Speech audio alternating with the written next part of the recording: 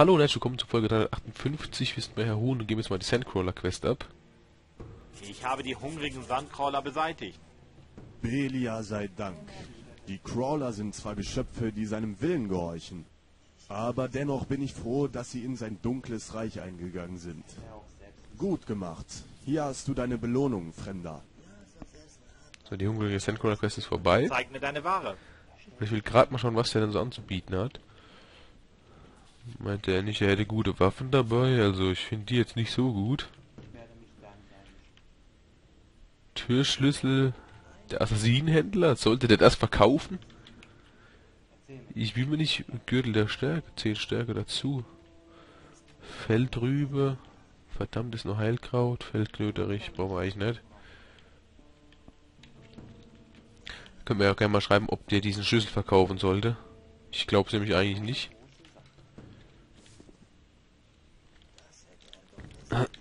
So, dann speichern wir hier nochmal ab.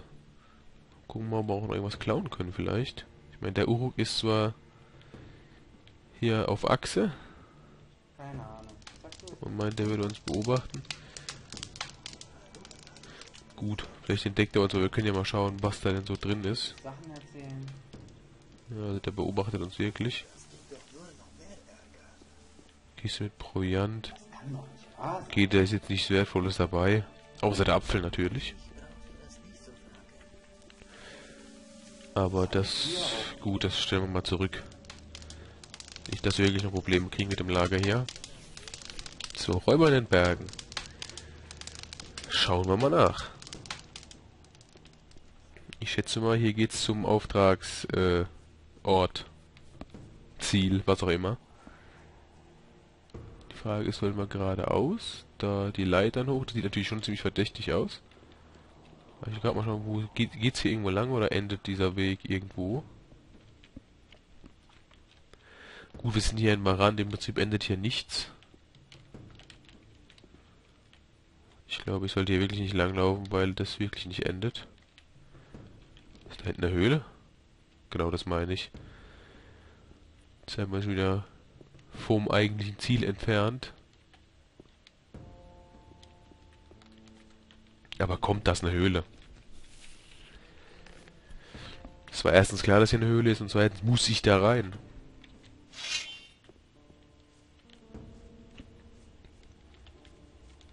Ach du Scheiße. Was ist denn hier wieder los? Ach du Schande, überall Felsbrocken. Aha. Ach du Kacke. Da ist ein Grundstück Leber uns hoffentlich.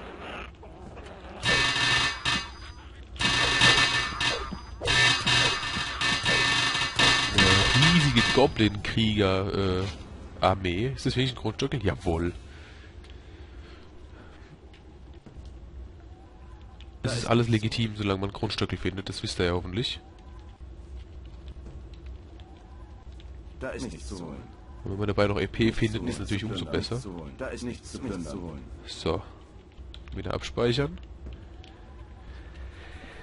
Aber genau das meine ich. Ne? Man findet eine Höhle und dann ist man schon wieder fernab allen Quests irgendwo am Rummetzeln.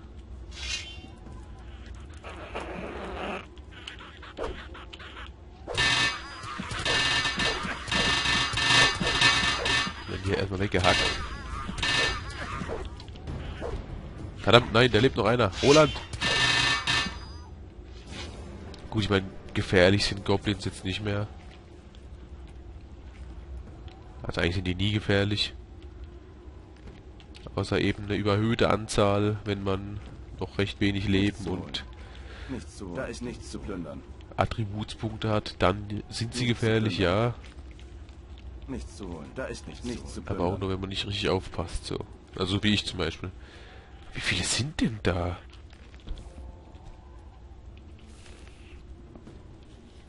Vor allem, ich kann auch äh, nur schwer einschätzen, ob die was mit einer Quest zu tun haben oder ob die einfach nur so optionale äh, Gegner sind. Denn mir wurde ja auf jeden Fall gesagt, dass natürlich die Gegnermassen steigen, da man sie nicht stärker machen kann oder irgendwie sowas in der Art. Und da natürlich Odyssey-Mode recht lange dauert. und wir mit Roland schon Level 73 sind, macht es natürlich Sinn, dass man dann mehr Gegner auf einen loslässt. Nichts da ist nichts. Da das dann wenigstens ein bisschen den Schwierigkeitsgrad noch hebt, weil ich bitte euch, was, was sollen denn drei Goblins uns jetzt noch anrichten? Gut, ich meine, sieben oder acht können zwar auch nichts anrichten, aber da kann man wenigstens vielleicht mal den Überblick verlieren und ein paar Schläge kassieren. Was haben wir denn hier? Bolzenpaket, okay. Also wie können wir unseren Proviant aufstocken. Und da geht's wieder hoch. Och nee. Wisst ihr, was ich ganz kurz dachte, als ich hier reinkam? Ich dachte, das wird so eine Ogerhöhle.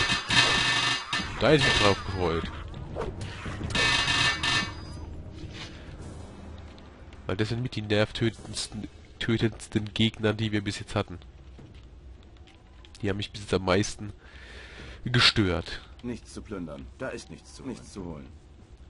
Aber ich glaube, mit denen kommen wir ja auch jetzt einigermaßen fertig. Wir haben auch schon viele verprügelt auf dem Weg. Da ist nichts zu holen. Wir haben noch Pfeilpakete, Proviant, Rumpfeilpaket, dann nochmal Proviant. Also wir haben jetzt, was waren es, vier Goblin-Kriegerlager, was heißt Lager, äh, Feuerstellen zermürbt. Das waren auch ein paar Goblins. Circa 40, würde ich sagen. Ja, nee, nicht ganz.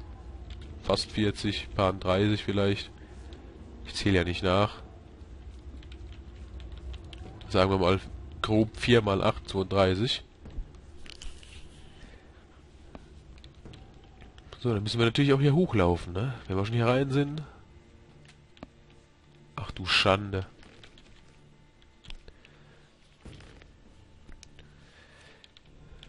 Wir auch nichts vergessen? Gut. Aber wie gesagt, die Steine haben, haben mich irgendwie an die Ogerhöhle erinnert. Oder an irgendeine andere Höhle mit Ogern. Guck hier sind ja noch mehr. Aha.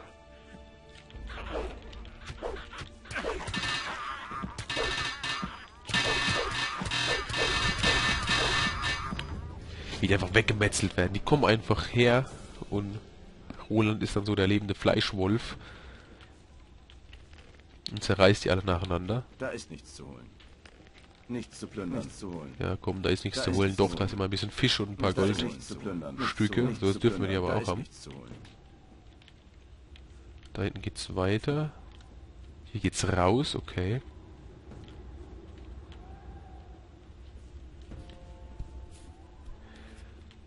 Oh Gott, wo sind wir denn hier?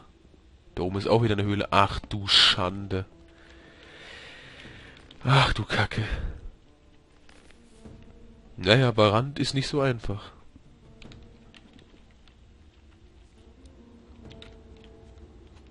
Ach du Scheiße. Okay. Da kamen wir her. Da geht's weiter.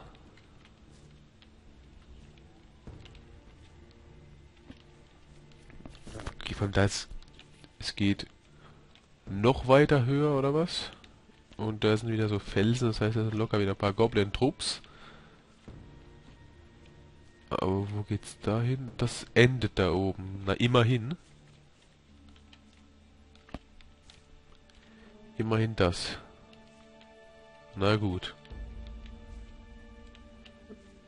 Und hier führt auch nur ein Weg nach draußen. Jetzt sind wir nur eine Etage höher. Okay, gut, das ist überschaubar. Ach du Scheiße, wo geht's denn hier hoch? das Fiese ist halt, dass alles miteinander irgendwie verzweigt ist. Also das ist nicht unbedingt fies, aber was daran fies ist, ist, dass wenn ich alles so durchgehen will und zehn Höhleneingänge finde, die aber zum selben, was weiß ich, Lager führen, da kann das natürlich schon ärgerlich sein. Da unten ist der Turm und ganz unten ist irgendwo Harons Lager. Oh, ey, da oben. Wisst ihr, was da oben ist? Da oben ist diese Hängebrücke, wo ich auch mal irgendwann drunter wollte. Und ach du Scheiße, guck mal, wie hoch das hier alles ist. Das ist mir die ganze Zeit gar nicht so wirklich bewusst gewesen. Also schon irgendwie, aber das ist einfach nur krass. Und ja, ich weiß, ich eier jetzt hier irgendwo rum und sollte eigentlich vielleicht einfach die Leitern da hochgehen, weil ich dort höchstwahrscheinlich die Banditen findet, die Harun beseitigt haben will. Glaube, wenn wir hier ganz hoch gehen, sind wir wieder in irgendwelchen Städten. Deswegen gehe ich mal kurz hier entlang. Also wird das, das ist hier eine Strategie von mir. Ne? Reinste Taktik. Wir springen nämlich jetzt auf die äh, Räuber drauf. Ja. Da unten sind Ruinen. Okay. Da ist aber... Tut mir leid, ich muss da hin. Das sieht mir gerade zu interessant aus. Das ist doch hier in der Nähe von Uga. Da ist doch die Tomatenplantage. Oh, jetzt hier aber nicht runterfallen an der Seite. Da oben ist irgendeine Hütte. Und da hinten ist ein Höhleneingang. Ach du Scheiße. Oh Gott, nicht der runterschlittern. Roland, pass auf! Oh Gott, da vor allem, nee, da geht's hoch zu der Hütte. da hinten ist auch noch irgendwas. Irgendein Höhleneingang. Ich gehe erstmal zu der Hütte, glaube ich. Also ich hoffe, das ist irgendwas abgeschlossenes, nicht, dass ich dann wieder durch 100 Gänge durch muss, bis ich dann irgendwo wieder Land sehe. Also gucken wir mal hier hoch. Schauen wir mal, was da so ist. Kann natürlich sein, dass es mit irgendeiner Quest verbunden ist und ich jetzt irgendwas ruiniere. Ne? Das ist immer drin. Die Möglichkeit. Aber mein Abenteuergeist will gesättigt werden. Deswegen gehen wir jetzt einfach mal hin. Das sind aber auch große Wege, ne? Also wenn jetzt am Ende nichts in der äh, in der in der Hütte ist, dann war das eine ganz schöne Energieverschwendung für den guten Roland hier, der hier was weiß ich einen halben Kilometer hochkraxelt. Das sieht aber recht verlassen aus. Es könnte auch gut sein, dass es in irgendeinen Gang zur Kanalisation führt.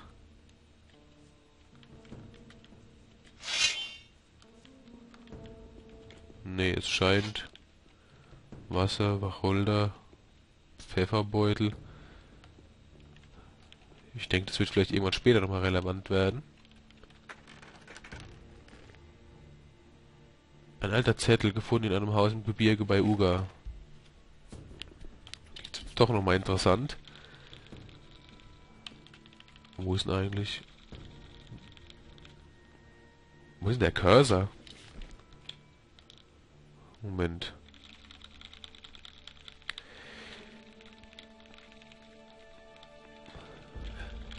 Hier, wie doof. Wo ist denn der? Äh, wir haben ein Problem. Ah, da ist er. Wo war der denn? Hä, was war denn das gerade? Ach, mir soll es egal sein. Da ist es doch. Hey Santiago, ich... Was willst du denn? Verpiss dich. Kann ich mal wenigstens mal den Scheiß lesen lassen, der knüllt der Zettel. So, jetzt nochmal bitte. Hä? Wo ist jetzt der andere? Ach, hier. Eigentlich müsste ich stolz auf mich sein, dass ich das Gold sicher aus Uga rausgeschafft habe, aber die Männer von Torres wissen wahrscheinlich schon, wo sie suchen müssen. Oh. Ich werde daher eine Höhle aufsuchen, die ganz in der Nähe ist. Gehe etwas bergab und dann in Richtung Amana, Saladin. Und das hier war jetzt... hey Saladin, was soll die Scheiße? Willst du mich linken oder was? Wo ist das Geld, du verdammter Penner? Ich werde diesen Zettel in deinem Haus nieder, äh, hinterlegen. Wenn du dich nicht bald bei, dir bei mir meldest und das Gold rausrückst, mache ich dich fertig. Santiago. Ja, Santiago ist tot. Ich habe in einem Haus in Bergen unterhalb der Stadt Uga einen Zettel mit, von einem Typen namens Saladin gefunden. Der Brief ist für einen gewissen Santiago. Dem Saladin hat anscheinend Gold aus Uga gestohlen und in einer Höhle versteckt, die hier irgendwo in den Bergen sein muss, und zwar in Richtung Amana. Klingt interessant. Ich habe bei dem Typen, der mich so plötzlich überfallen hat, einen Zettel abgenommen. Demnach ist dieser Santiago der Komplize von Saladin. Anscheinend haben die beiden in Uga einen Raub unternommen. Saladin scheint die Beute mitgenommen zu haben, während Santiago geglaubt hat, dass ihn sein Kumpel betrügen wollte. Na, zumindest weiß ich jetzt, um was es geht. Äh, ich hoffe, das ist jetzt auch nicht schlimm, dass wir hier irgendwen umgebracht haben. also einfach so. Irgendwie. Weil sich so ergeben hat, weil er uns angegriffen hat. Ich hoffe, der war nicht wichtig, aber ich weiß nicht, gab es einen Santiago irgendwo in Uga? Ich bin mir gar nicht sicher. Auf jeden Fall ging es ja doch nochmal heiß her in der Hütte. Immerhin das. Vielleicht ist da hinten noch irgendwas versteckt. So ein Drachentöter? Nee, doch nicht. Oder Uriziel? Nein, auch nicht, okay. So, auf jeden Fall haben wir jetzt Santiago umgebracht und werden wahrscheinlich auch noch einen gewissen Saladin umbringen. Saladin war, glaube ich, nicht in Uga. Ich erinnere mich nämlich an keinen Saladin. Santiago könnte sein. Ich hoffe allerdings jetzt nicht, dass irgendwer sauer auf uns ist. In Uga. da wir, was weiß ich, seinen Leibwache oder so umgebracht haben. Also bei Santiago haben wir es einfach umgebracht. Aber ich hoffe, der ist einfach so gespawnt und hatte noch nie was anderes in Uga verloren gehabt. Also sprich nur für diese Quest, weil dann ist das so ohne Probleme. Ansonsten könnte er mir ja schreiben, wenn der für was anderes noch relevant gewesen wäre. Ich bin aber der Meinung, dass ich den noch nicht gesehen habe, noch nirgends. Aber ich kann mich natürlich irren. So ein bisschen Fallschaden jeden Tag ist auch gesund. Jetzt gehen wir mal in die Höhle, die genauso aussieht, oder nicht genauso aussieht, aber wahrscheinlich genau die sein wird, die Saladin aufgesucht hat. Okay. Ne, die Höhle ist komplett leer. Da kann doch was nicht stimmen. Warum soll die Höhle denn leer sein?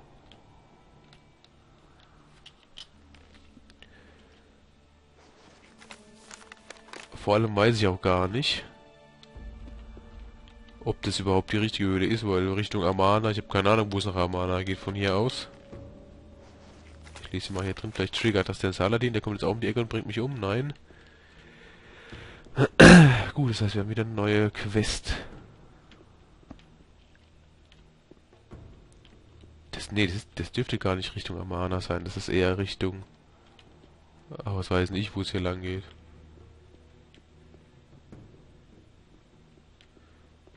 Hier ist Uga. Ach du Scheiße, was es hier alles gibt.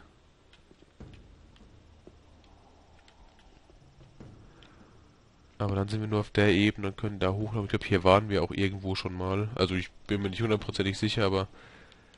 Aber das wäre doch eine Höhlung Richtung Amana. Aber die könnte natürlich auch noch weiter Richtung Amana sein als... Nee, ging es überhaupt nach Amana oder ging es da zum Belia-Turm? Naja gut, also ich meine da, dass es, dass sich sowieso um einen Kreis bildet, hier dieses ganze, äh, dieses ganze Wüstental, kommen wir in beiden Richtungen irgendwann nach Amana, aber das ist natürlich nicht äh, das Ziel. Da unten könnte auch irgendwo eine Höhle sein. Also hier kamen wir ja her.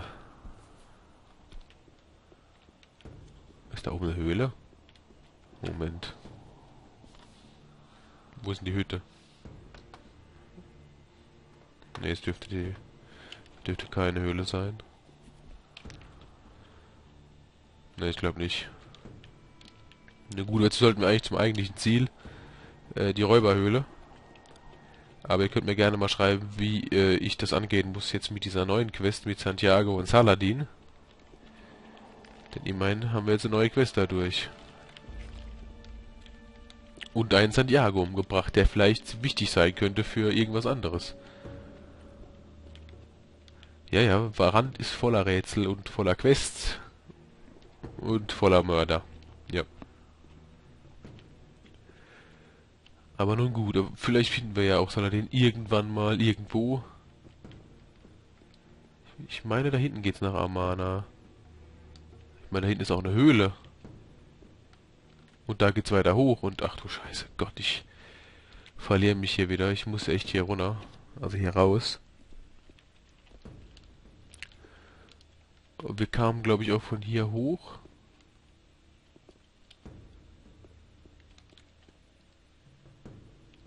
Sei lass mich kurz hier runter plumpsen. Wir kamen doch von hier, oder? Ja, das wird ein Spaß. So. Mach auf die Fresse fliegen. Genau, hier sind wir hochgegangen. Hier begann der kleine Exkurs, um es mal so zu nennen. Fing ja eigentlich alles mit 40 Goblins an. Muss man ja mal auch mal sagen. Eigentlich ging es ja nur um Goblins zu verkloppen. Weil man immer wieder in irgendeine Quest hineingeschlittert. Ja gut, ich sage ich ja nichts gegen, ne? Mache ich ja gern, aber...